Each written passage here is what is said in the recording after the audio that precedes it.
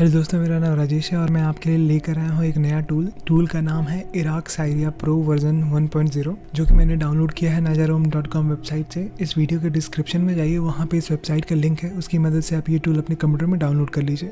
तो जैसा आप देख सकते हैं टूल को मैंने अपने कंप्यूटर में डाउनलोड कर लिया है और एक्सट्रैक्ट भी कर लिया है। तो मैं फटाफट टाइम वेस्ट ना करते हुए इस टूल को खोल लेता हूँ। तो अब जैसा देख सकते हैं, इस फोल्डर के अंदर काफ़ी सारे फाइल्स हैं। तो हमें ओपन करना है इराक साइरिया प्रो डॉट को तो मैं डबल क्लिक के ओपन कर लेता हूँ।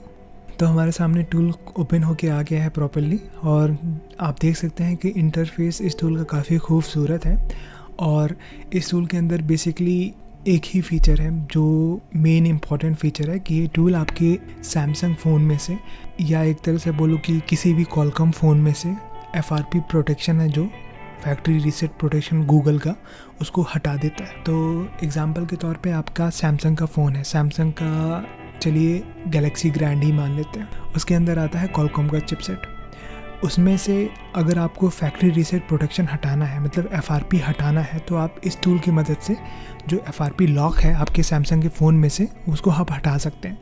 तो सबसे पहले आपको करना ये होता है कि आपको अपना सैमसंग का जो ड्राइवर है, अपने कंप्यूटर में इंस्टॉल करना होगा।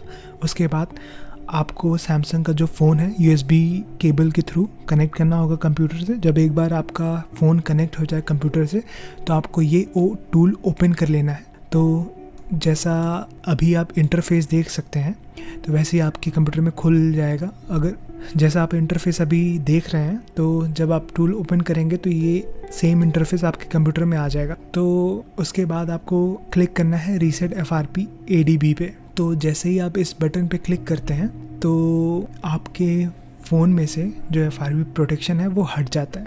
अगर इस बटन से आपको कोई रिस्पांस नहीं मिलता अपने फ़ोन में से तो आपको ये दोनों बटन्स एक्स्ट्रा यूज़ करना होगा।